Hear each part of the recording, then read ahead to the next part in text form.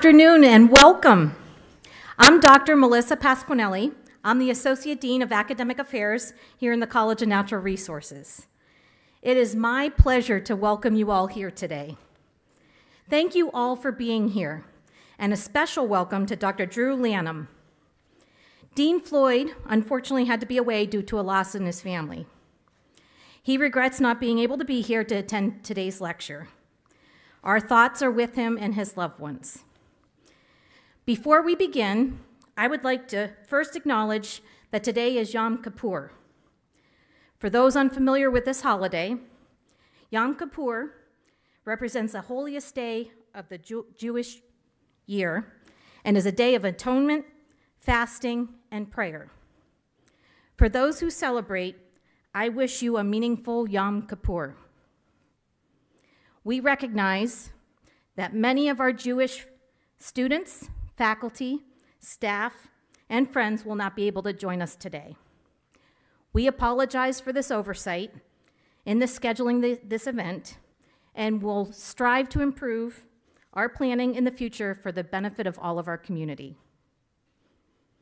Dr. Lanham has graciously allowed us to record this lecture. We will be distributing this link to the recording following the event to ensure our broader community has access and can enjoy today's lecture. We are honored to host this event each year and to bring distinguished speakers like Dr. Lanham to campus. Dean Floyd wanted me to express that we, he would have been extremely honored to welcome Dr. Lanham because he's known Dr. Lanham since he was an undergrad at Clemson, where they both studied. Dr. Lanham, he's very proud of you and the remarkable rise in the field as a scholar and a scientist, as a celebrated author, and a thought leader. And I just learned he's also an artist, so I look forward to, I hope you tell us more about that too. This annual Barkalow Lecture is a key opportunity for the College of Natural Resources to gather students community members, and alumni around important topics in natural resources, conservation, and ecology. Not only does it give our students the opportunity to connect with leading experts in the field, it also fulfills a vital part of our mission to foster dialogue and collaboration that solves urgent challenges at the intersection of the environment, economy, and society. The Barkalow Lecture is important to the Fisheries, Wildlife, and Conservation Biology program in particular because it strengthens the cross college relationships that are at the core of this interdisciplinary program. I would like to say a special thank you to Joanna and Donald Can, who support this lecture each year in honor of Joanna's parents, Frederick and Joan Barkalow. Dr. Frederick Barkalow was the former head of zoology and a professor in the School of Forestry. He spent 32 years on the faculty and was inducted as the first member of the North Carolina Wildlife Conservation Hall of Fame in recognition of his lifetime of dedicated service to wildlife conservation. We often take for granted that a university is a hub for collaboration and the sharing of knowledge. But donor support is essential to our ability to host special programming and bring out, bring out outstanding speakers such as Dr. Lanham to campus. Unfortunately, the Cans could not join us in person today. However, they are with us virtually. Waving to them. Uh, they're on the live stream. It is now my pleasure to introduce Dr. Chris Moorman, who's professor and associate head in our Department of Forestry and Environmental Resources. He will be sharing a few remarks on behalf of Joanna and Donald Can and introducing our speaker. Please join me in welcoming Dr. Moorman.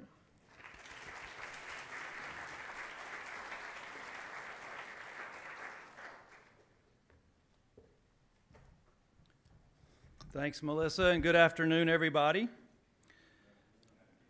Um, so, as Melissa mentioned, the Uh, Fred and Joan Barkalow set up this uh, endowed uh, annual lecture series to continue their legacy and support of the conservation community here at NC State University. This lecture has brought in some incredible names over the years, including Frank, Frank Bellrose, Val Geist, Fred Guthery, Stephen Kellert, Monica Turner, and the list goes on, going all the way back to 1980. As you also heard, Joanna Can and her husband Donald have continued the important support that allows this lecture to continue. Joanna could not be here, but I am honored to speak her words. So, Joanna, hello, and Donald, I'm going to do my best. So, from Joanna The day of the Barkalow lecture is always special for me. Whether, whether in person or virtually, I have the pleasure of enjoying a renowned speaker and knowing that the vision of my parents had when they created the lecture continues to grow, reaching an ever expanding audience. No one can imagine my excitement when I received the Save the Date announcement and learned that, learned that Dr. Lanham was confirmed as our speaker today. Known for being a candid advocate for the natural world, Dr. Lanham believes that it is our moral responsibility to forward this belief in new ways. Similarly, my father was fearless in advocating for an individual's right to a decent, healthy environment. His support for environmental protection rested in his strong belief that animals, forests, rivers, oceans, and soil are held in stewardship for future generations. The success of the Barkalow Distinguished Conservationist Lecture would not be possible without the efforts of a lot of individuals. However, there are a few I would like to thank, beginning with Dean Floyd, the Dean of the College of Natural Resources, who is with us in person today and always supported the Barkalow Lecture. Chris Moorman, blah, blah, blah um, created created a system that his graduate students, that the program graduate students research, and then they select the Barkalow speaker, which has been an important thing to have the grad students involved. This is a process that my father, who mentored generations of students, would applaud. Since 2008, when I first met Chris, he has also become a special friend, cheering via texting our favorite sports teams. uh, go Ravens for Joanna, and identifying animals in photos I sent him as my father did for so many years in Raleigh. Dr. Krishna Pacifici, who several years ago ably assumed the planning and management responsibilities for the lecture and has always kept me informed of the details throughout the year long planning process. And then there's dear Phil Doerr. Anyone needs a Phil Doerr in their life. Phil came to Raleigh in 1973 to work with my father. Together, they were the core teachers in wildlife biology and management. In the 1980s, Phil, the fisheries and wildlife faculty numbered two dozen, but Phil was more than my father's professional friend. He was a family friend and continues to be so today. And then lastly, thank you to my special friend Jennifer Viets, Director of College of Natural, the Director of Development and College Relations. And to all who work on the Barkalow lecture in any way, a heartfelt thank you. So I want to specifically point out Krishna. Is Krishna here? Where is he? Oh, there he is, right there. Krishna. And then um, the grad students, we had co-leaders of the team, uh, Makai Carver. Makai here, raise your hand. Maybe she's virtual. And then Eric Teitsworth. And then Lauren Farr played a real, really critical role in also making this happen.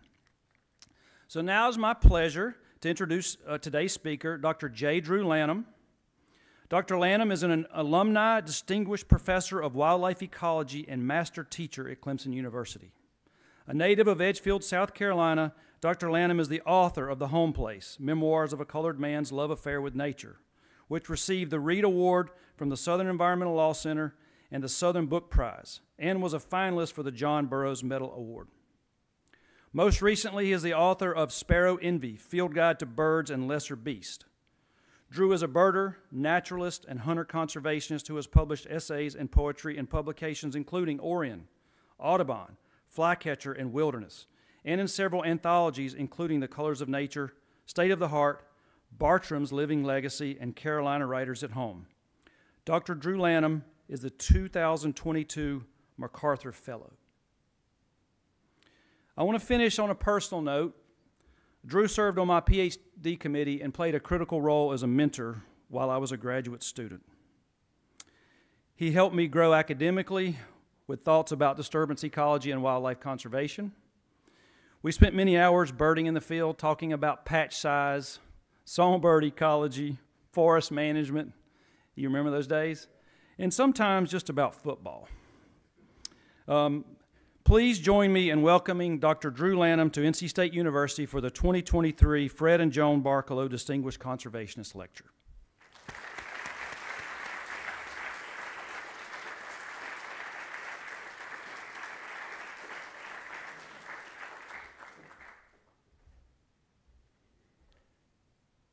Thank you.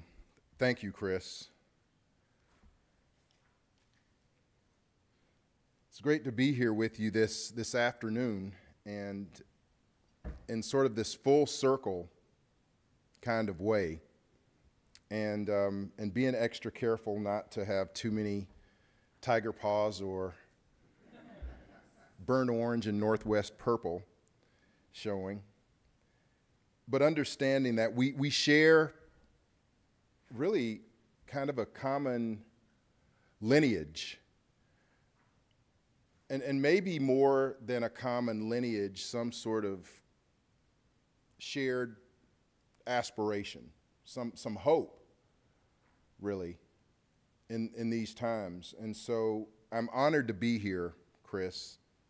So honored to, to see new friends, Maju and Lauren, and to meet people like Phil, um, who I've, I've known, I think, for a very long time. I know I'm going to miss names, but just grateful, really, to be in this space after, after all of these years. And I'm reminded just how many years it's been as, as former students move into, into, into these leadership roles. And it's almost as if, in some ways, time has stopped, but at the same time, it has gone on in, in this very real but pleasant way as well. I want to spend my time today telling a story, really, and it's a shared story. And it's, it's the story of, of all of us. It's, it's a, a story, really, of, again, sort of some common beginnings and some uncommon beginnings, some kind beginnings and unkind beginnings. But then to wind that story in a way that hopefully brings us from often points of divergence into points of convergence. I will tell you that today, um, the only p values will be of, of passion.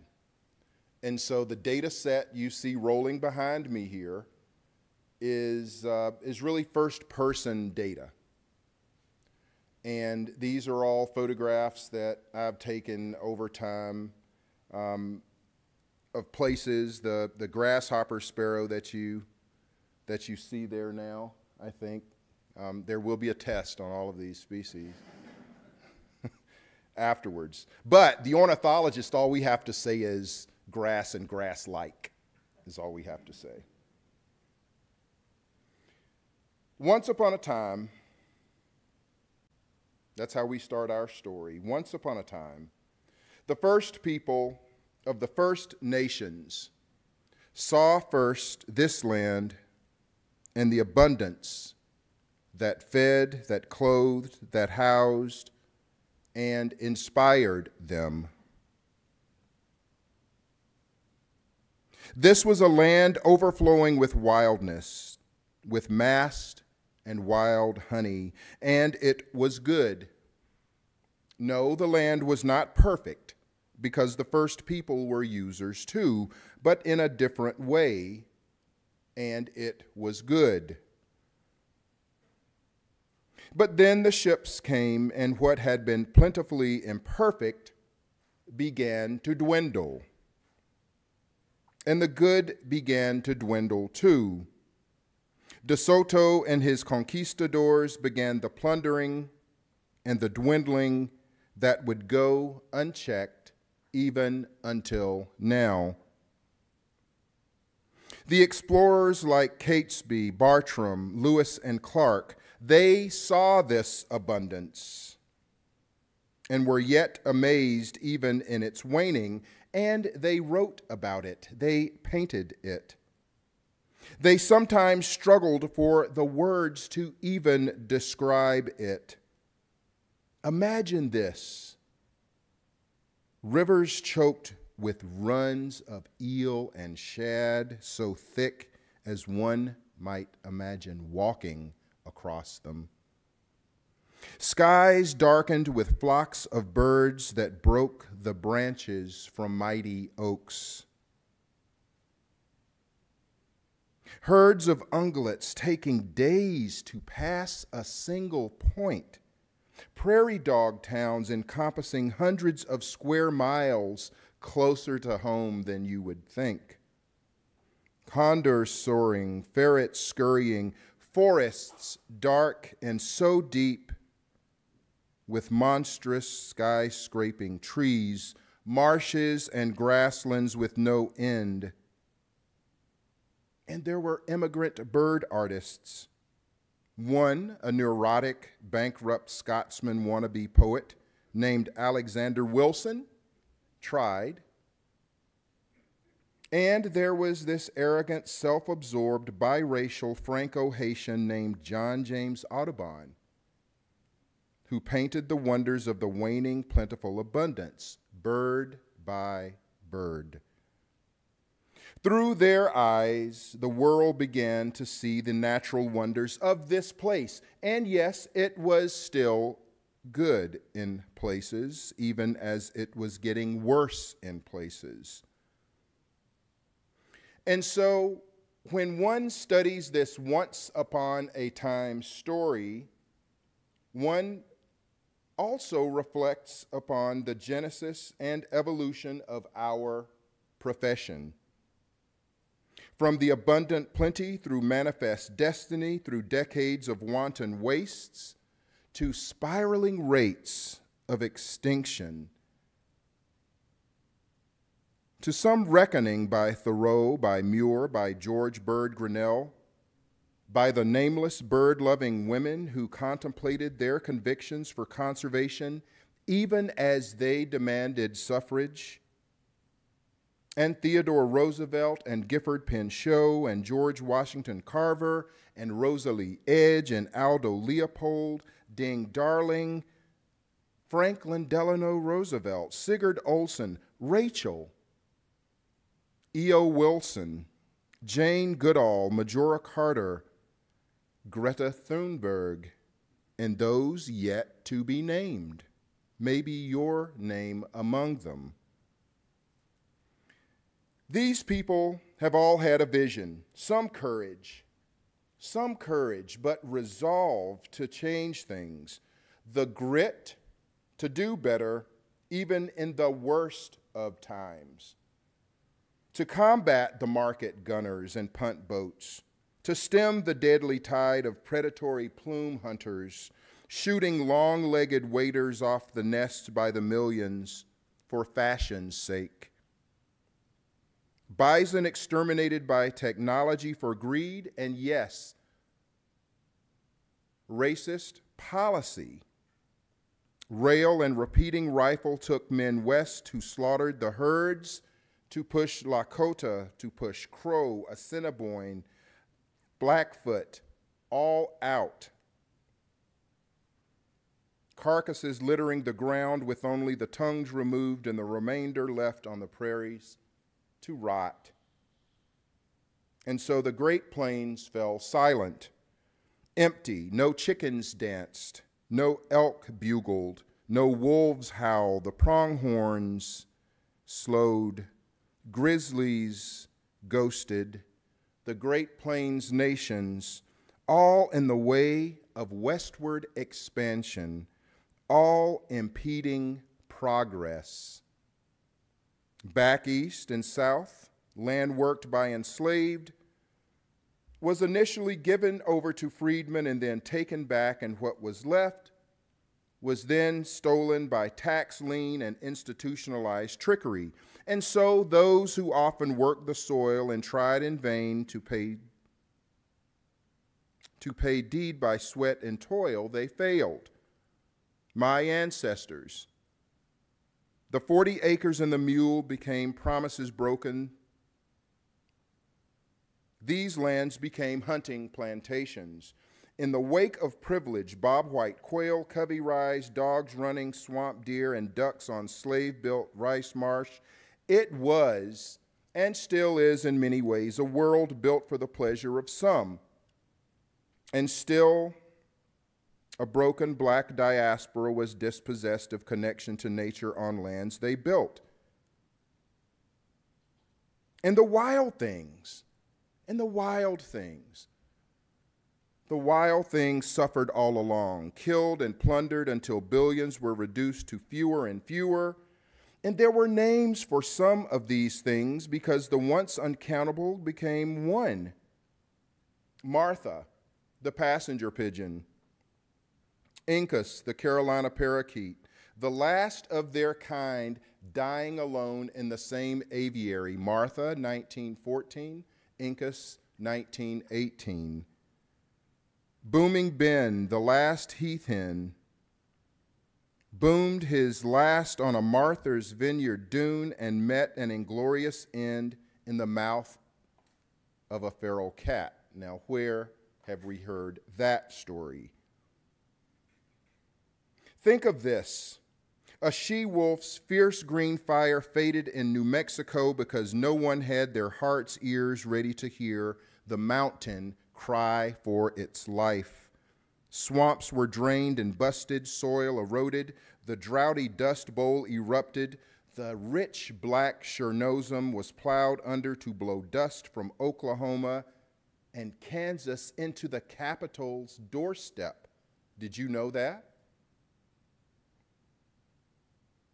And that was when they believed it was happening, by the way, when the dust storms reached the Capitol's doorstep. Old growth cut and devastated, the great Lord God bird, double rap knock and Kent call in the den of ravenous saw and steam engine forestry run amuck, goes quiet. An atom splits and collides. In that moment, we are all newly threatened with oblivion. Poison and pesticides are sprayed everywhere carelessly for a better bug free life, but this just becomes death biomagnifying death. A courageous and quiet heroine named Rachel says, Think, but feel more. We try, as Martin marches for equal rights, for everyone. There is no clean water to drink in Flint, still. Toxic flumes choke the poor and people of color more, still. The Amazon still burns. Plastic floats to make deadly new islands of Anthropocene trash, and the world is warming up. Polar bears are drowning, and poor children in Appalachia cannot breathe. Coal ain't never been clean and will not be. And yes, it's happening, even if you say it's not.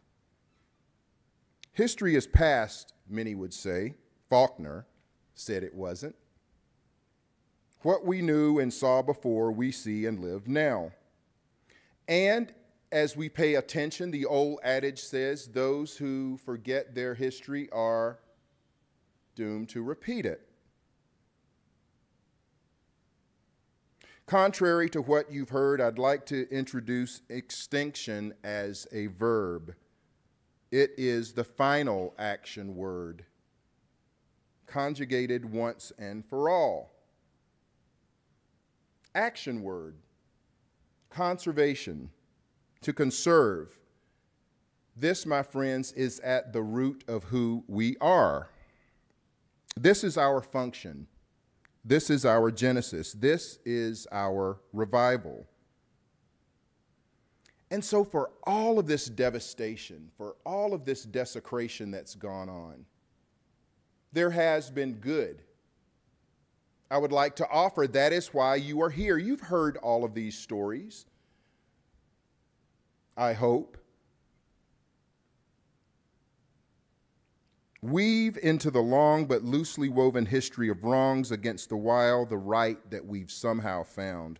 The moral act that I sometimes like to move to a moral act. That's what we need now. The Lacey Act, Pelican Island, a hunter conservationist naturalist president sitting lame duck and carving out swaths of national forest before a sleeping Congress could act the Migratory Bird Treaty Act, Bankhead Jones Farm Tenant Act. Everyone knows what that is. The Civilian Conservation Corps, the Duck Stamp, Pittman Robertson, Dingell Johnson, the Endangered Species Act and CITES, the Clean Water and Clean Air Acts, the Farm Bill, the Paris Accord, a Sand County Almanac and Silent Spring and Biophilia, Guns, Germs, and Steel, Wildlife in America, the Bible, the Quran, the Torah, scrolls and etchings on hides and rocks and stories in caves and around fire circles, passed down for ages. Holy words, sacred words, directives to care for our world, but also for each other.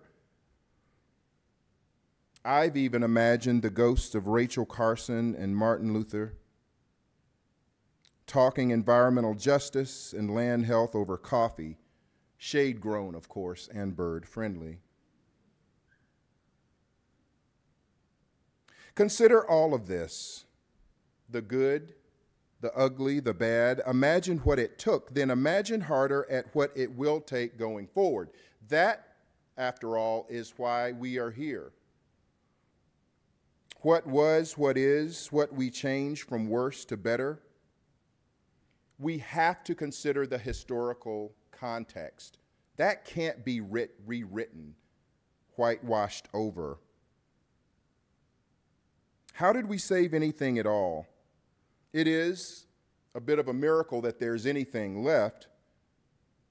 But where are we now in that undulating sine function of discovery, of ex- exploitation, extinction, of recovery? What grade, I ask, would you give us on the most recent tests to inform, to inspire, to make good from bad, to make better best, to actually conserve, to take action rather than be still. Have we advanced? Have we backslid? Or are we just barely holding ground? What do we do that ominous music does not forebode, well, forebode well for us, right? Something is coming.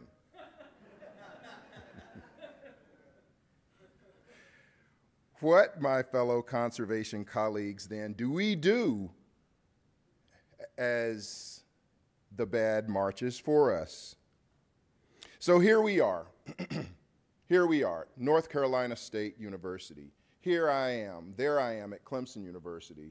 There others are at Virginia Tech, at the University of Georgia, at any land grant that you can think of.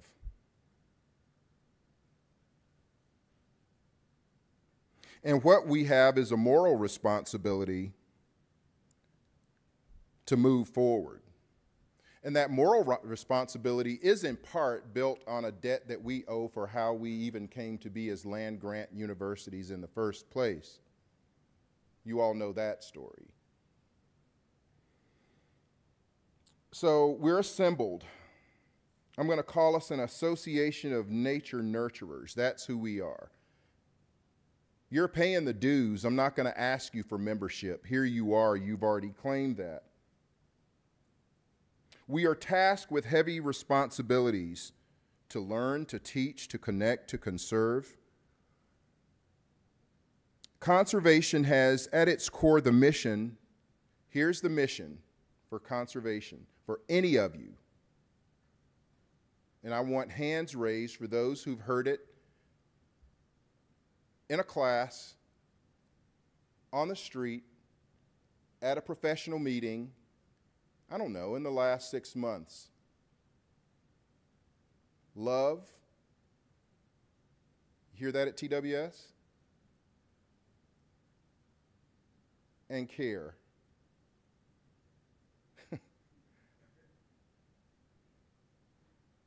now, somebody can challenge that stat. Somebody can challenge the quality of the research. But I would argue that what brought you here in the first place, maybe, was just this curiosity. You know, I like to think about these, these, these memories. I like to remember what stopped me as a kid. Maybe it was the song of some bird that I couldn't recognize. Maybe it was Bob White quail flushing from the blackberry thicket where I could also pick enough blackberries for a cobbler that night, but also could rely on those birds to be there every day. And when they exploded from that thicket, I could count on that reassembly call. but also, maybe it was just the the commas in that puddle. The commas in the puddle? What do you mean, the commas in the puddle? You know what? You became a noticer when you stopped for a moment at that puddle and those commas moved, these little black dots with tails that weren't there the day before, and suddenly you paused. These were the commas in your life. And at that point, you were a noticer and an aspiring naturalist because you did what? You wondered what they were.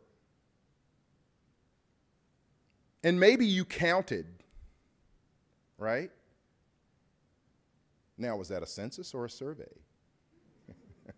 you made the decision. You said, well, there are a lot of tadpoles. There are a lot of these little black things. Or maybe you counted the exact amount. And then you went home, and because at that point in time they appeared magically, you were believing in spontaneous generation, right? you were thinking, oh my God, these things came out of nowhere. And then you went and maybe you asked mama and daddy or auntie or granny or a friend, and all of a sudden you got the lesson not from birds and bees.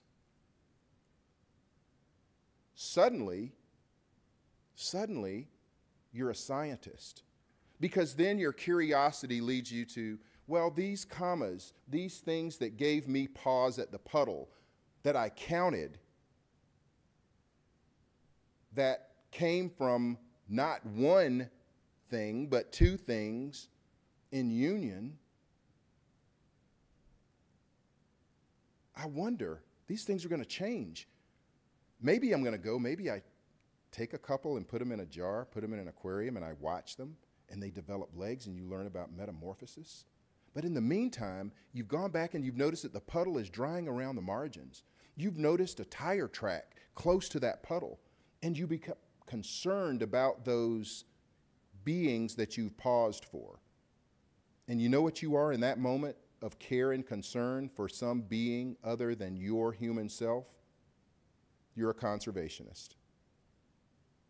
Care and concern enough to stop, to loiter, to look. And so here we are This mission to love and care means that what we do here in the four walls, learning about stewarding some habitat, maybe it's grasslands or wetlands or forests, shorelines, city parks, greenways.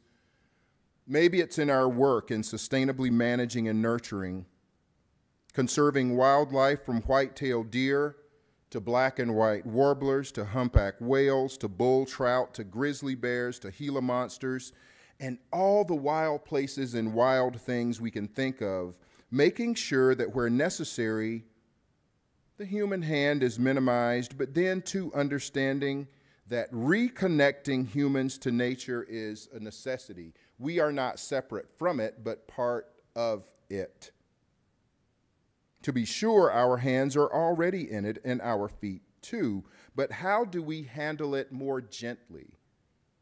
How do we not squeeze the life out of what we hold in our hands? How do we tread more tenderly? Yes, conservation's mission is to care. We have to teach this, we have to investigate this, we have to enforce it at times. We must think of it, but we must also communicate it. We have to feel this care but we also have to be this care.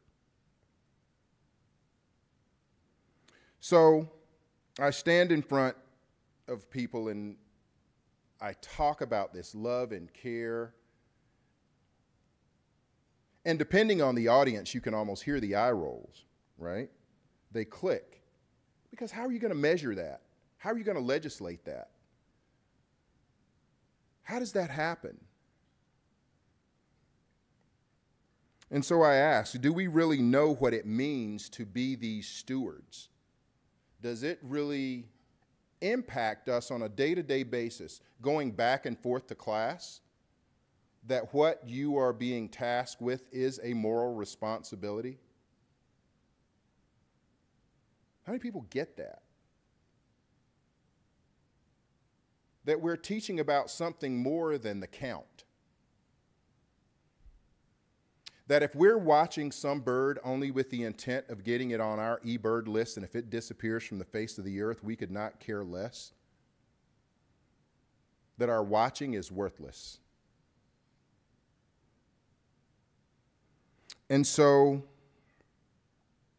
we have to have an indomitable grit. We have to have a psychosociological carrying capacity, psychosociological carrying capacity to do better than we have done as we descend into some unknowable conservation burrow in this new age. We ain't seen it as bad as it's going to get yet. Right? Chris and I are just talking about flamingos being far flung from their homes, and everybody's gone crazy to see a flamingo, right? In these places. Thing is, ways being made for flamingos, you know that. That's likely to be a range expansion. Truly. Now, ask brook trout about that, Brad brook trout have a different opinion of things. You got to wet a fly to understand that. You got to walk in some different spaces to understand that. What's the cost being incurred for us not caring? What's the cost being incurred for progress being the watchword? What will this net us in the end? And so I'm hopeful in doing what I do because I believe we understand, you understand what's at stake.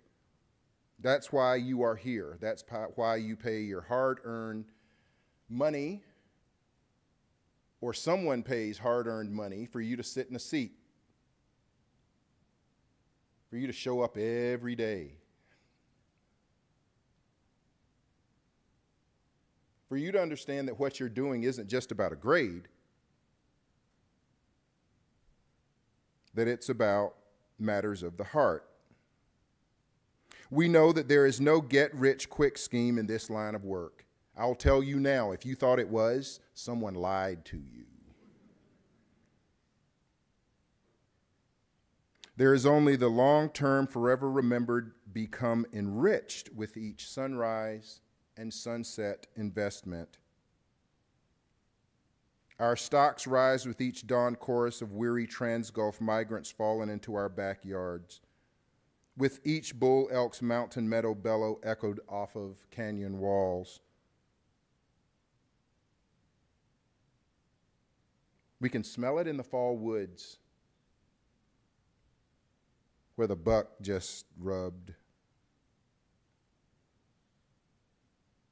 Our investment is amortized in each shad or eel's epic return to spawn in a rushing natal stream where it was once an egg. Our savings are compounded with each sunset glowing red as fire on salt marsh, compounded with each loggerhead sea turtle's eons old crawl from surf to shore Interest accrues with every witness to the miracles of migration and, and, adaptation, and in those dividends we cash in treasures beyond any currency's value. The question is how do we keep this value safe? How do we reclaim what's been lost and compound the good that's been gained? This will require us to not only do the best science we can do, it will require doing more than we ever have in the face of decreased funding and those who would deny the truth. This will require us to do more than settle for policies already written. It will require us to draft new ones. It will require a more zealous enforcement beyond slaps on the wrists for crimes against wildness and humanity. It will require us to fish for hope where there is no structure, to hunt for it where there seems to be none.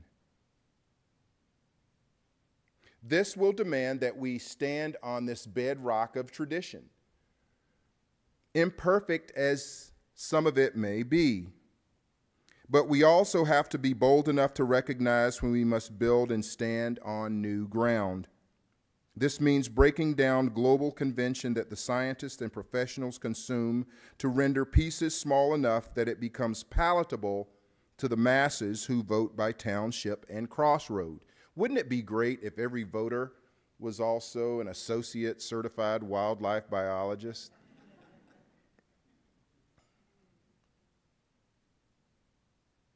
Maybe not. That's an assumption there, right? This means that this work can no longer be a closed carton of homogenized good old boy effort. There is an expiration date of demographically colored change coming due, and that right soon. Trust me.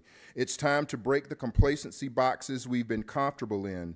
It's time to shatter the glass ceilings over some of our heads. It's time to integrate the leadership and turn over the board tables, to open up the clubs for non restricted access and mix things up. Let's inclusively maximize our own diversity as we so eagerly seek it out in our field work. This means that every last one of us, educators, ornithologists, ecologists, mammalogists, mycologists, herpetologists, biologists, ichthyologists, the policy wonks, the law enforcers, the modelers, and even the bureaucrats, all must become activists towards a single cause. Hunters and birders must let off on the full draw and put the high powered binoculars down to recognize common quarry. I'm really sick of environmentalism being waged against conservation and vice versa. Happens every day. I can stop you dead in your tracks with a wind turbine. How many people in here want clean energy? Raise your hands, everyone. Well, where do you want it? Right? And it stops us dead. And then we refuse to talk to one another. And then we make enemies of each other, even though the goal is a common one. We must recognize that none of us are non consumers. Whether we watch or walk or shoot or stalk, we leave trails behind us and take more from the land than we give. And so this means we must see our roles and responsibilities in some new light. We must all recognize that the human dimension is the hardest to manage or predictively model.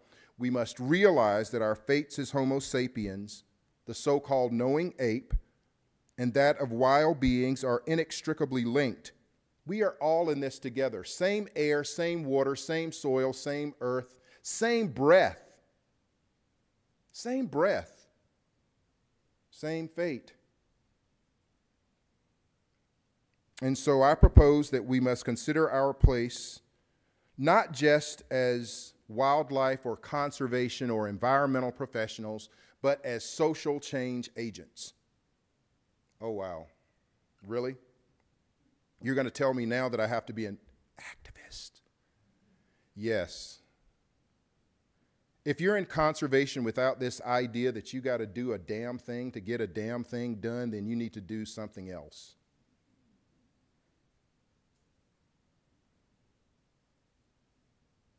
You paused at the puddle. You counted. You cared. What happened? What happened? So the next time someone discounts what you do, right? Okay, so at Clemson, Chris knows this, Brad knows it. um, ag and natural resources, we're kind of those people over on the other side. we're funded differently, right? We're, we're counted in sort of a different way. And, um, and, and it's something that has bothered me for quite a while because when I think about land grant mission, at least as in that, in that good side of it and who it is that we should be, you know, we really ought to be screaming at the, at the top of our voices that the jobs we do are critical. That's this moral imperative that I'm talking about. And so I want you to consider again from that comma in the puddle, from that pollywog, from that tadpole, from their point of view. Imagine. Now, someone's going to say, oh God, here he goes, he's anthropomorphizing. Uh, you can't prove to me what a tadpole is not thinking. you can't. And so at some point, to look up, and there's, I don't know, God looking down. And things are drying up, and the cars are coming through the puddles. Or maybe you've got some friend, remember that friend who, instead of pausing to look and count, who would stomp through the puddle? You, you all know them. And you know some of them now. you know some of them now. What's the activist work? Go around. Go around. What's the educator's work? Can you see those tiny legs? This is, this is going to be a frog. If they've got clean water, it means good things for them and it means good things for us. And so, yeah, there are some of us who can live without wow things, but I can't. And I hope that you can't. And I hope that you take this opportunity while you are here at this university, at this institution, to bolster that activist attitude as a conservationist, to do more than watch, to do more than worry, but to work. I roll my sleeves up in part because that means it's time to go to work, right? It's time to get our hands dirty. But more than that, it's time to make our hearts beat harder. It's time for us to come together in something in a way that makes a difference.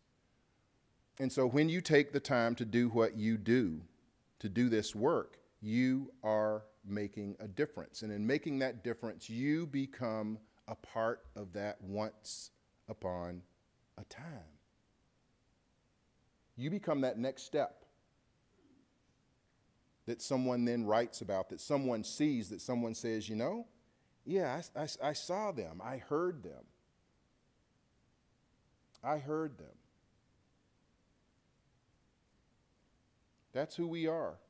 That's our story. I'm proud to be a part of it with you. I, I, I cannot tell you the, the honor um, that I have, and you know, this is very different than standing up in front of someone uh, of a group of people. And, um, you know, you always have those one or two who you know are going to come at your stats. They're going to come at it. They're going to come at it. Um, and I ask you to come at my stats, right? This is my data set. This is my data set. And I will tell you that is that I've had to transform it, right? But more than that, it's transformed me because it ain't normal. And I hope that we all run away from that. So I'm grateful for your time, I'm grateful for your patience, but mostly I'm grateful for your passion and having me here. And I will tell you, and I'm gonna, I'm gonna say this because it's something I've wanted to say for a while. Um,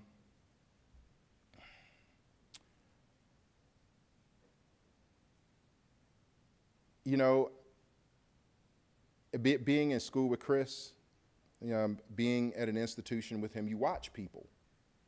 You watch people. You not only watch who they are and how they are, but you watch who they become and what they do in their lives. And I'm going to say this in the kind way thank you for being different than your cohort. That's all I'm going to say. Because I can look in this room and I can see a difference in this place. I can see a difference in this place. And he knows what I mean. But, uh, you know, I, I, I, always said my grandmother, man, my grandmother was, she was a, a fundamentalist mystic. oh, we, uh, yeah. Uh, but she would always say, you know, you, you, know, you will know people by the works that they do. And being here today, um, and Myron, Myron and I talk. Myron's not just someone I knew. Myron's also a frat brother of mine. Um, So I've, I've known uh, Dean Floyd for a while, um, but I know that he dearly loves this place, and he speaks well of the program and what goes on here. Not no place is ever perfect, but I appreciate you being a part of this, Chris. Thank you, and thank you all for having me here. Happy to take any questions, and look forward to uh, communing later on. Thank you.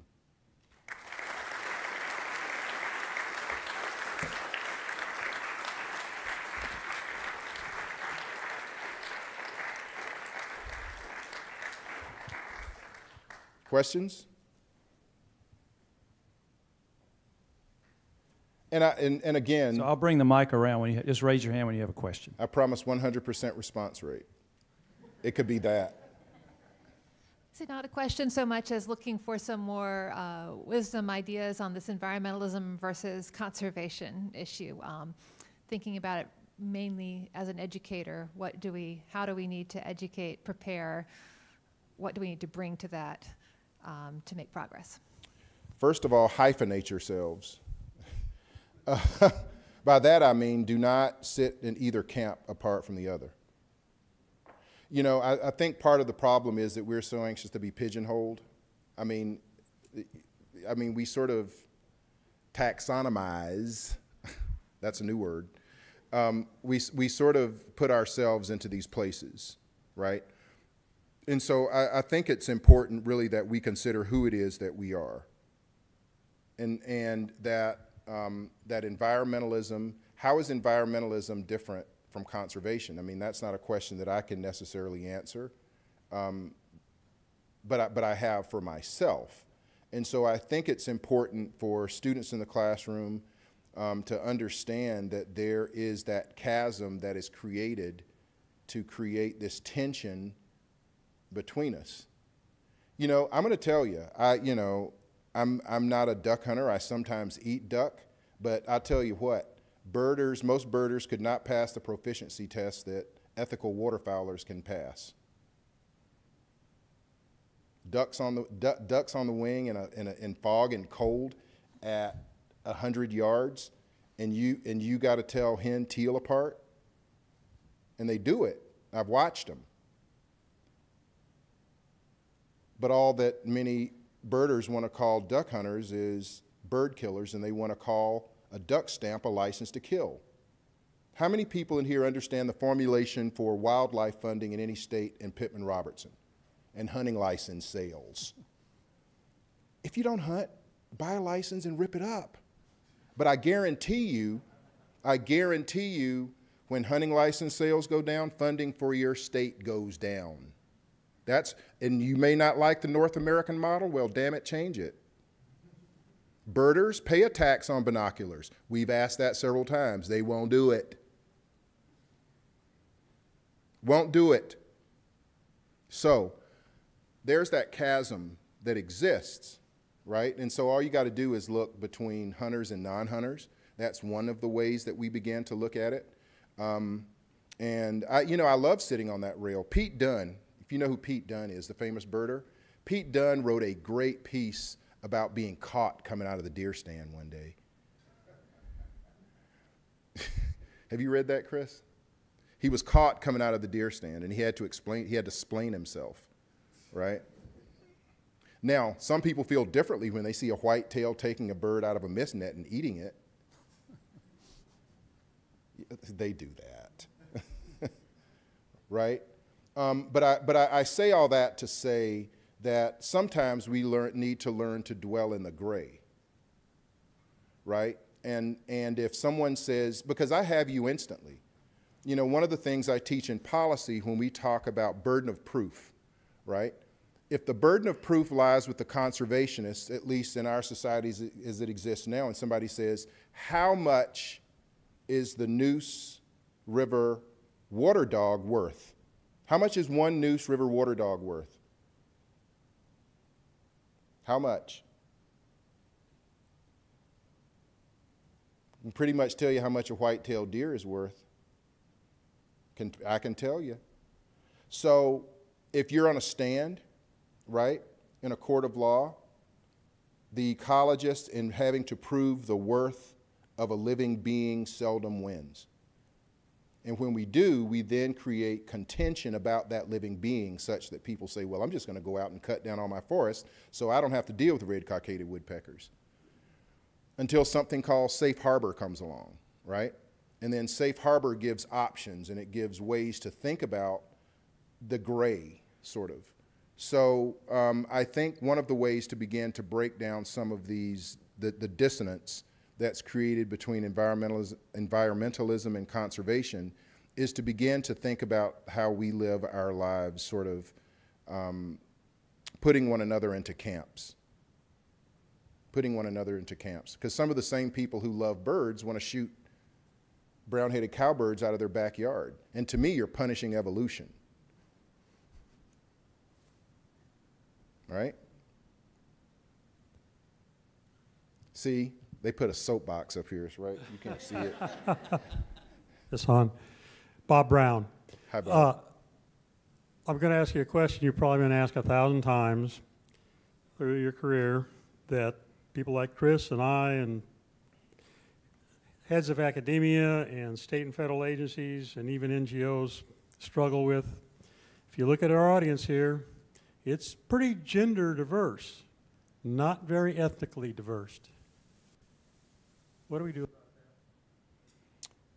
Um, great question. And I, you know, one of the things that I used to do is people used to say, well, how do we get more? Well, the first question I ever had like this was uh, someone wants to know how many black birders I had made. And all I could, all I could see was me like on a, like on a, on a, you know, a fresco touching. uh, but I thought about that question, and I thought about a particular graduate student, and I thought about um, Dr. Keenan Adams, who Chris knows, Keenan, um, who's with the Fish and Wildlife Service now, well, Forest Service, um, special detail in Puerto Rico.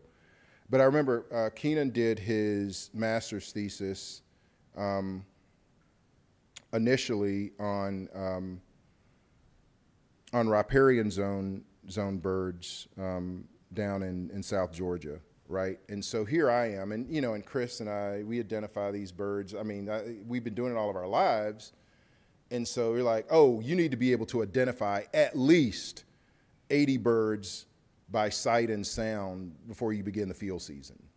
You know, and you bring these people in and you say, oh, you identify all these birds. Um, and when they said that, they were like, when they said, how many black birders have you created? Like there's I'm being held to some standard of some metric, right?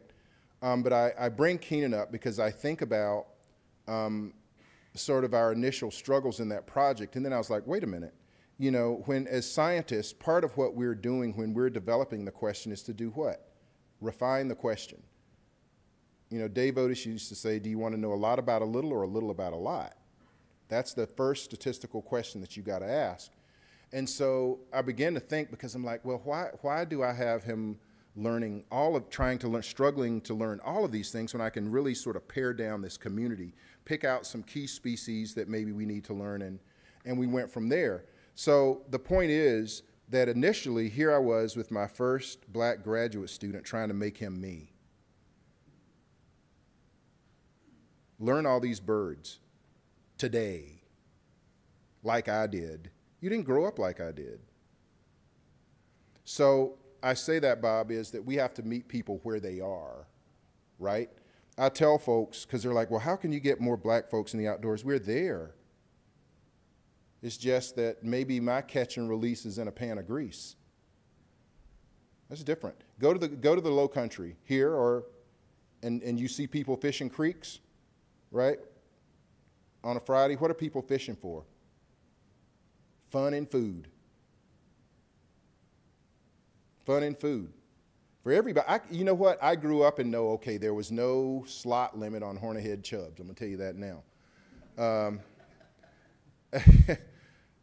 but it's when we went fishing, it was the most fun I ever had. It was my exposure to a lot, and it was dinner on Friday night. If mom and, and daddy didn't stop at the fish market in Augusta, Usseries. Um, so I think part of it is meeting people where they are and understanding that it, even though folks may not be watching birds like you think they're watching birds, your northern cardinal is their red bird. Your yellow-billed cuckoo is their rain crow. And they have connections. And so we, we've got to expand what it means to be out. Um, and I think we don't do a great job in our major of conservation of talking about food. We just don't. We don't talk about foods enough. Um, we don't talk about that initial connection. I can tell you that sitting, standing in, in front of some of the brightest kids from high schools, you know, we have a chance to talk to them at some of these camps. And one day, one kid, he was eating something in class he wasn't supposed to eat. I didn't care really, but it was a chance. I said, okay, you're not supposed to be eating that in here, but if you can tell me where two of the ingredients from your candy bar came from, I'll buy everybody in here a candy bar for tomorrow. And he, he's just like, oh, I got this. Oh, so he got, I can't remember the first one, but he got to, to peanuts, right? And he was laughing. He was like, everybody, write down your choice now because Doc is buying everybody candy. And he said, everybody knows these come from a peanut tree. Do you know the statistics show that a significant number, I think it's eight year olds, think that bacon comes from a plant. That people don't know that if they eat meat, that it blinked at one point in time. So I think one of the ways that we think about inclusion um, and diversity is that we expand what conservation mean, and that begins in the soil and the food that you eat. Um, and I'll tell you now, I don't know what's going on here, but a lot of places, including my own, soil soil scientists are a rare breed. You guys, how the soil science, how's soil science doing here? How many of you have had a soils course? Oh. That, that tells a story, right? I mean, at the base of everything. It's not dirt. Don't ever call it that. That's the first thing you learn in a soils class. Um, but that's an important thing, and part of what we're where we're losing ground. We're losing ground through our farms. We're losing ground through. I mean, now there is a wonderful industry. All you got to do is, you know, there there are lots of farmers of color on TikTok. Oh yeah. Now you sometimes wonder how they're getting a crop in. Um, but I, I, think part of again of inclusion and diversity is for us to diversify and to broaden the scope of what conservation is, for us to include farming, farming in the conversation, for us to include foods in the conversation, for soils to be a part of our curriculum. What, how many hours you have to complete here now? 120 undergrad? It's 120? Well, remember what it used to be. And then promises were made that you would get out in four years exactly to the day. And so all of those credits that you used to take that would enhance you in these ways, you don't have them now. How's entomology doing here? Good. Good. It ain't at Clemson. Right? So again, I say that not to disparage my university, but you know, I, I think at, at times what we do is we lose vision for what um, you know, our, our mission is, especially on that, on, on the side of the street, figuratively speaking, where we are. And so I think we have to, if we're going to be inclusive, that we reach sort of across the aisle in ways that says to people, you know, I mean, literally, wildlife now is rocket science, right? I mean, people are watching critters from space, they're doing remote sensing, but there's also this huge human element does anybody in here in the profession remember when people used to, used to whisper, human dimensions? And, they, and the human dimensions people would be like, somewhere else. And then if a, a different face showed up, a black or brown or other person, they thought you were automatically in human dimensions. Because I used to get that. I like, no, I'm an ornithologist. But now people are like, you're in human dimensions now, aren't you? Uh, but you, but, but we all are. The point is that we all are. And so, Bob, I think the, the expansion of our field is important. You know, we, we have sort of, again, pigeonholed ourselves into a place that people can easily sort of pillory us. And so, and they can say, well, see, you're not a wildlife biologist or you're not a birder because you don't have the right binoculars or you don't go to the right places. You know, I think we have to stop discounting pigeons as non birds um, and, and call them what they are. I mean, taxonomically, they're doves, and doves are what? Symbols of peace and freedom? Right?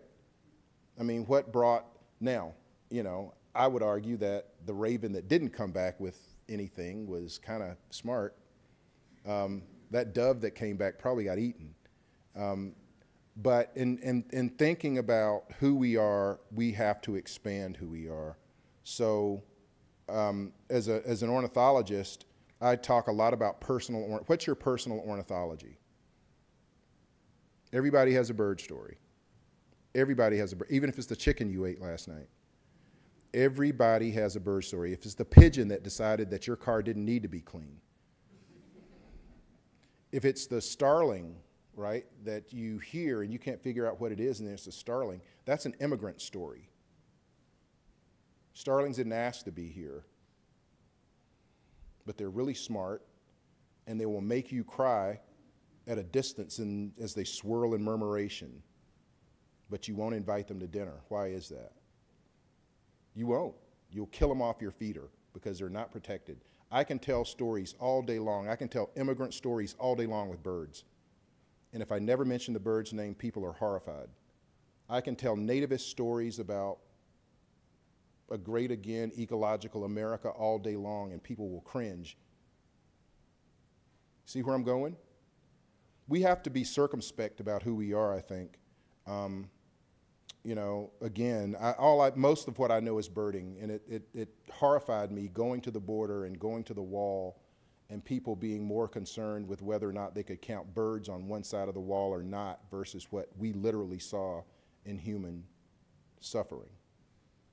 That's bothersome. And I think when we do that, then we set ourselves against one another in ways that then say, okay, well, those are those people who only care about the birds, right? and then we can't get votes, and then we can't get support, and we wonder why we suffer, and we wonder why other people don't join us. And it's because we've put ourselves in that hole. I, you know, I'm as guilty of as anybody. So, you know, and here's the test. How many of you are bird watchers or birders in here? Okay. Um, try this. Walk into like a some strange room where there are other birders and walk in with like a pair of, I don't know, $50 binoculars around your neck, knockoffs, walk in, and if people don't know you, watch how they sort of, then put a pair of like, you know, high ends around your neck and watch how people pay attention to you. It's a neat test. It's a neat test. I've done it. I've been ignored with the knockoffs around my neck and if I put the others around my neck, so you know, because people look, they're like, oh, you're like eyes here, right? you need to pay attention to my binoculars, not these, not these.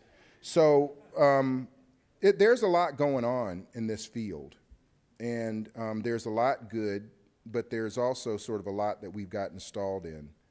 And I, you know, some of it I know how to approach, some of it I don't know how to approach. But like I said, I'll have a long winded response to any of it. How many, about, before, and I want you to, how many undergrads are here? Oh, wow. All right. Grad students? Awesome. Thank you.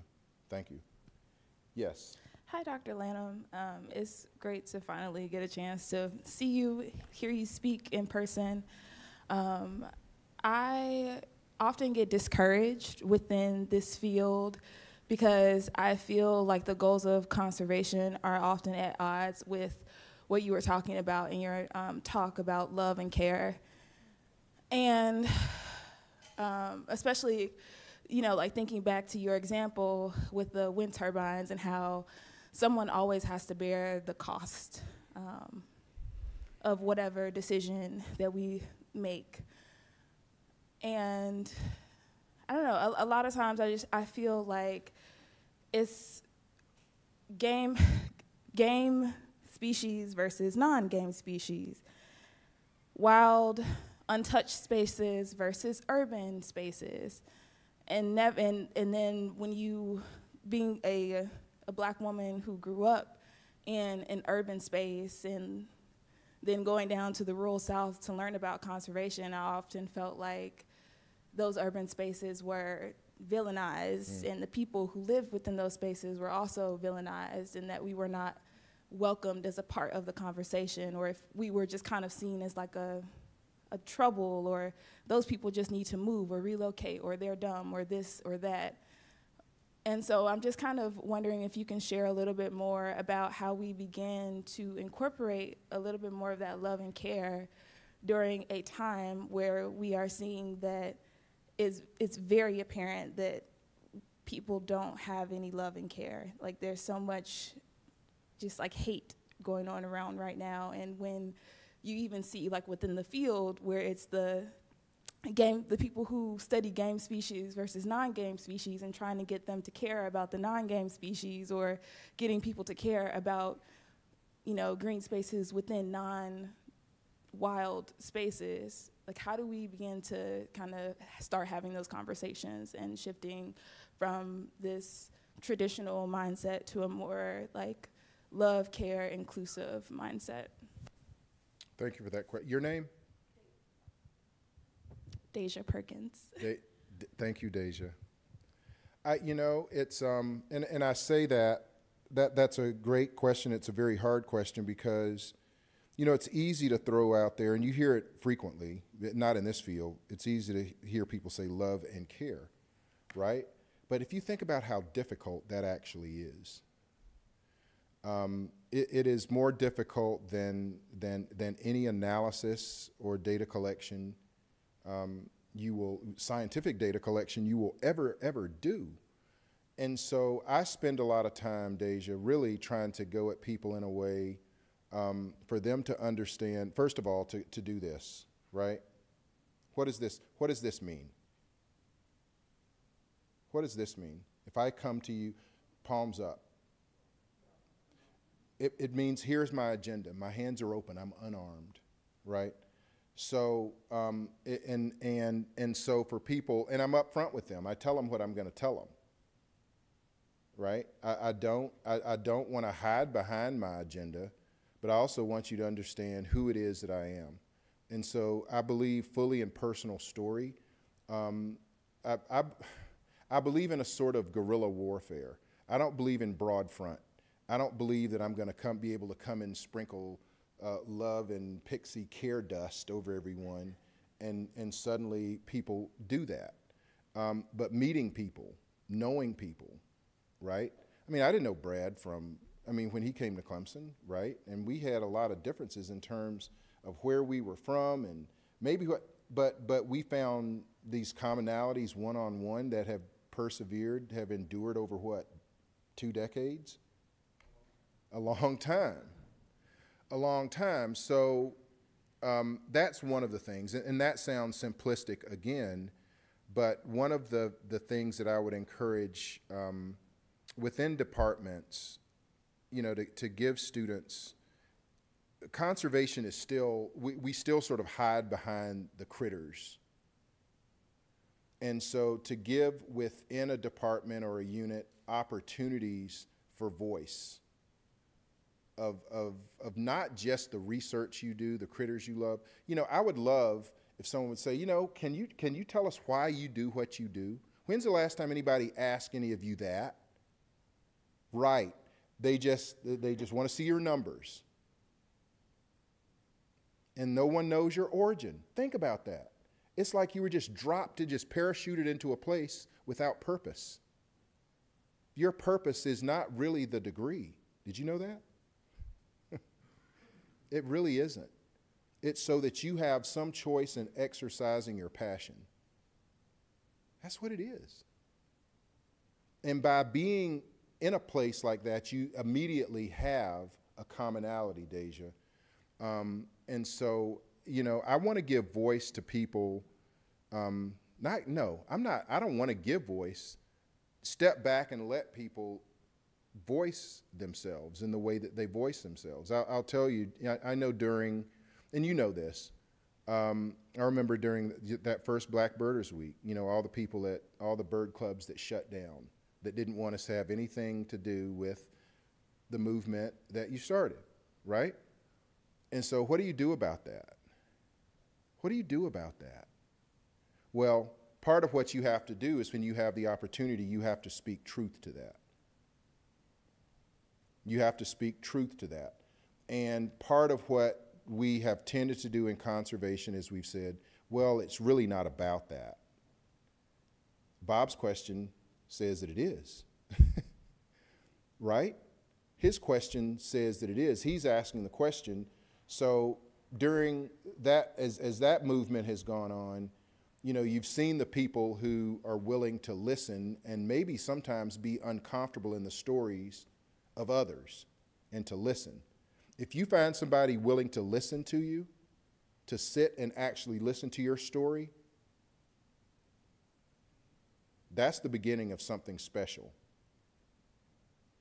That's the beginning of something special. So, you know, that's sort of why, and, and, and the reason that I, that I said that about, that I said what I said about Chris in part is, you know, um, you trying to give me a raise. Yeah, exactly.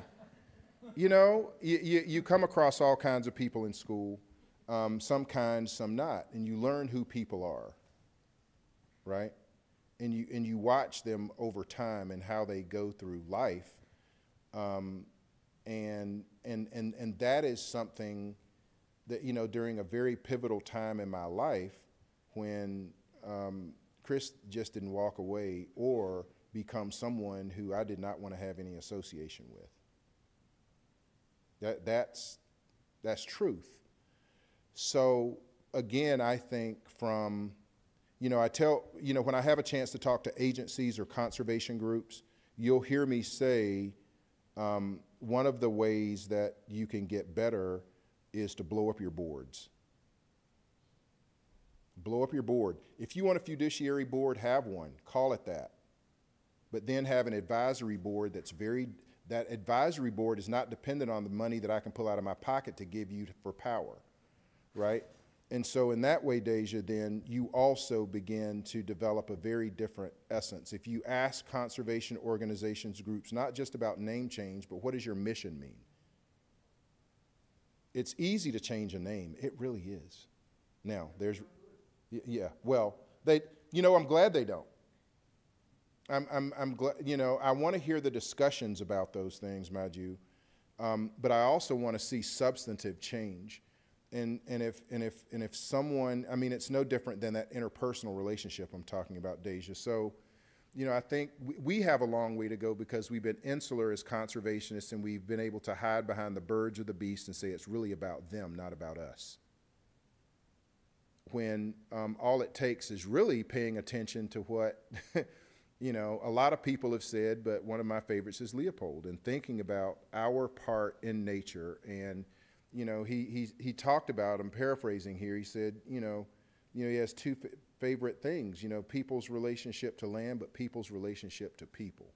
And, and, and so that's where conservation really begins. Because guess what?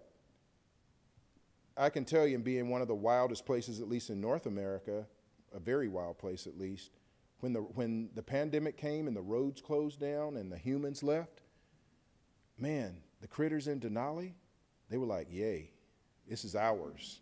This is ours. We're taking it back. And it took, it was like that. It was quick, fast, and in a hurry. Um, now, the human element takes a lot longer. Um, I said today with the grad students, I asked how many people, okay, I'm going to admit I am INFP. Okay? Right? INFP. That's why many of us got into this business. For many of us, that means what? What is INFP? Right, no. I'm not for people. and that's a problem. That's why many of us got into this, because we wanted to be away from people. And that's our excuse for not treating others better. So I think agencies, from universities, um, all agencies at every level, and people need to need to get back into thinking about our part and, and the part that we play as fellow Earth travelers. And that all sounds really sort of mushy, but I have been at some of these tables where people have done some of this hard work, and I have watched people do everything from become very angry to leave the boards to cry to be fired to being fired. Um, and it's just, it's a lot of work. And it's harder work than the habitat or critter work that you do. I guarantee it. It's hard. It's really, really hard. Because the, you, you watch the bird, the bird does what the bird does. Maybe, um, I don't know, if it's a harpy eagle and you climb the nest, you got some issues. It's going to come at you.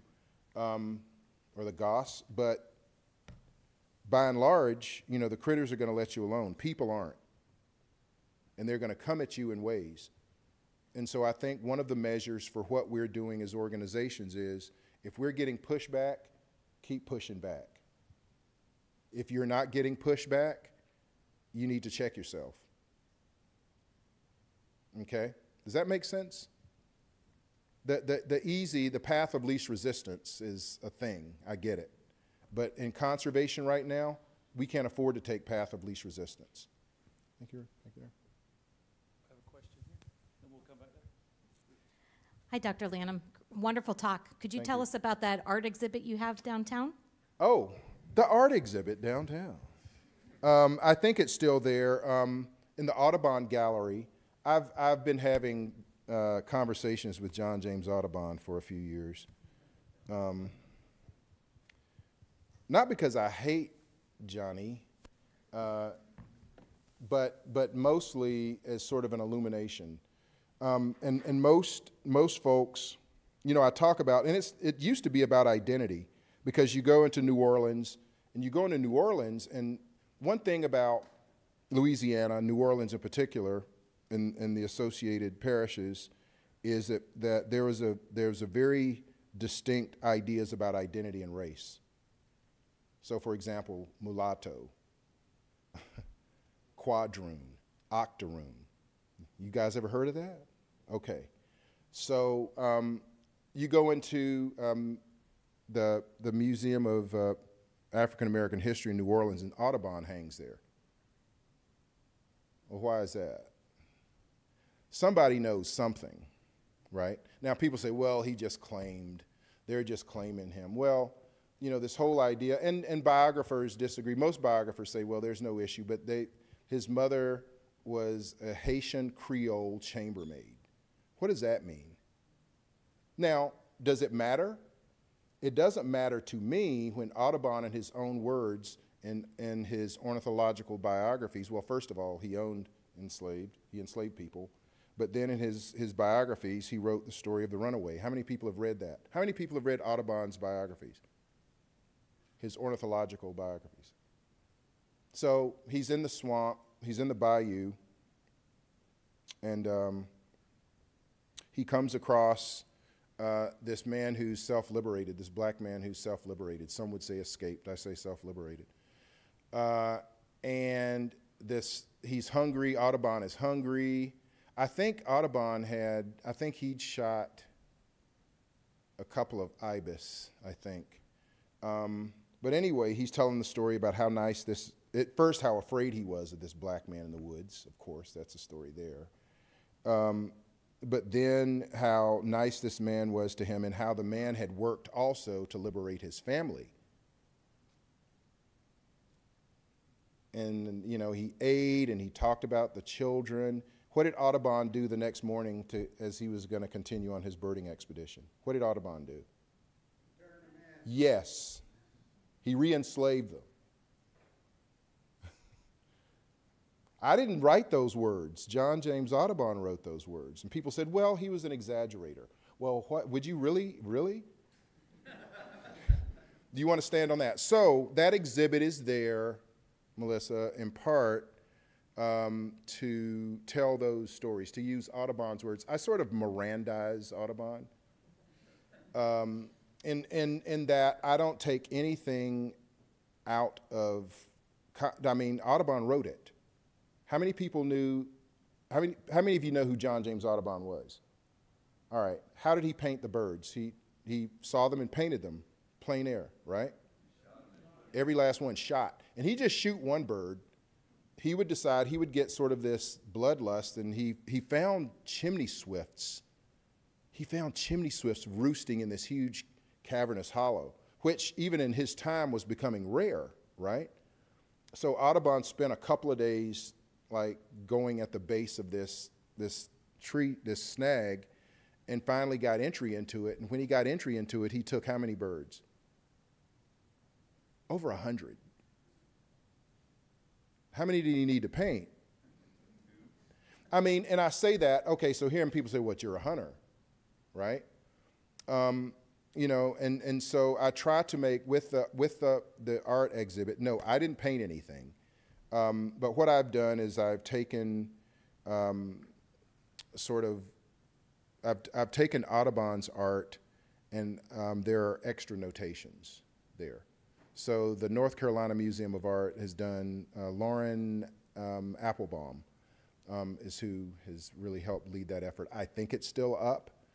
But I've had a chance to do that with the Scottish Museum, with North Carolina Museum of Art, with the Charleston Museum, um, and, um, and with a couple of others. So that should still be there. So Johnny, Johnny, Jim, and I are going to keep talking.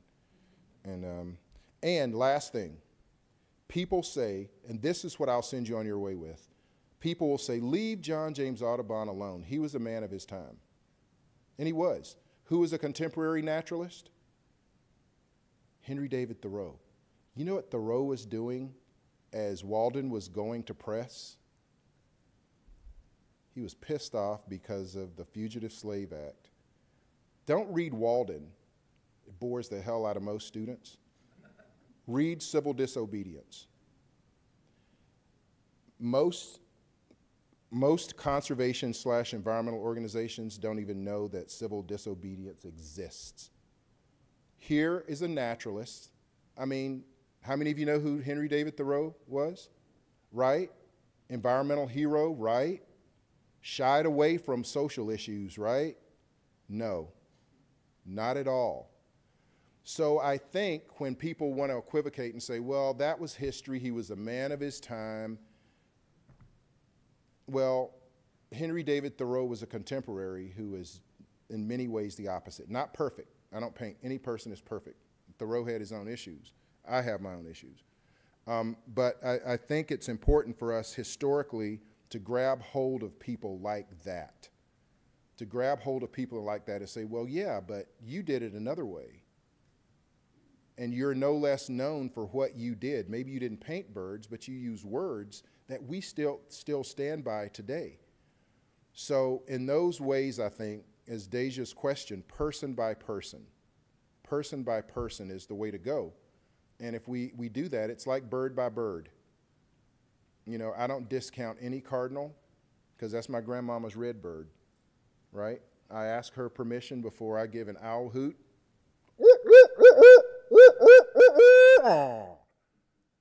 Because for her and her ornithology, that was forbidden. So I asked her just a little moment of permission, right? And, um, and it's better. So thank you all for everything. Thank you for being here. Thank you for your questions. Does anybody have, was there one more question? One more question. Yeah, sure. I'll love to take it. Okay. Uh, hi, Dr. Lanham. Uh, my name is Ben Zeno. I'm a first year master's student here at State uh, studying fisheries, wildlife, and conservation biology. And I'm interested to hear um, if you ever had a specific moment that you can remember where you stopped to look at the commas? Like, what, what was Oh. that moment for you? Oh my gosh. Um, honest, uh, so Benzino, is it? Most recently, unexpectedly, I mean, post breeding, uh, dispersal, swallowtail kites do some serious wandering. And it's just a bird that I, you know, and in the upstate of South Carolina, they're, they're not so uncommon anymore, but I, you know, a swallowtail kite is, is a god that deserves worship. So um, I was headed towards this, uh, I mean, not a very wild place one day, and I look up, and, and there are a couple of Mickeys, uh, Mississippi kites, a um, couple of Mississippi kites, which, I mean, they're just wonderful flyers, right? So I'm looking, then all of a sudden, here across the road, this two lane, comes a swallowtail kite in Oconee County. And I had to pull over. You know where I pulled over to watch that bird? In the Dollar General parking lot. Which says something, right? I mean, there's a sociological phenomenon there, but here I am, and I, you know, and I and I had my phone, and so I'm taking these, this this little, you know, video, and I'm like, man, I can't get the big, I can't get the Dollar General in there, and the bird swoops right down, right? wild and free. No matter where that bird is, it's wild and free. And it stopped me. It stopped me. Um, that a swallowtail kite gets on the wind, and a couple of hundred miles to a swallowtail kite is like a blink. It's like a couple of flaps. I think swallowtail kites probably compete with one another to see who can flap less. I, I mean, but you know, um, Tess did. She has the earrings on. So if you don't know what a swallowtail kite is, find Tess and look at her earrings. but that's the last. I mean, that that's that just stopped. And then the other day it was a you know some Swainson's thrushes coming through. Um, and I'm thinking, where'd those birds come from? And suddenly they're in my yard. I mean, I heard, you know, I've heard them in the subarctic, but they're in my yard. They're in my, and where are they going? They're going to be in the few days. They're going to be in the company of Jaguar. When you think about that, you're like, you see something like that, right? But then it's like frog froglets, right? Um, little cricket frogs that are size of your thumbnail. Just little perfect little beings. You know, and it hops up on your thumbnail for a minute, and you're like, you know, that's that's everything. So, um, hopefully, those those those moments. What was yours? Have you had one? Yeah. How did it make you feel? Good. That's that. You know, that's what that's what we all are. You know, I think if if we see ourselves that way, um, if if we sort of humble ourselves in that way um, with these other beings, then um, it makes us better, makes them better too. So thank you. Thank you.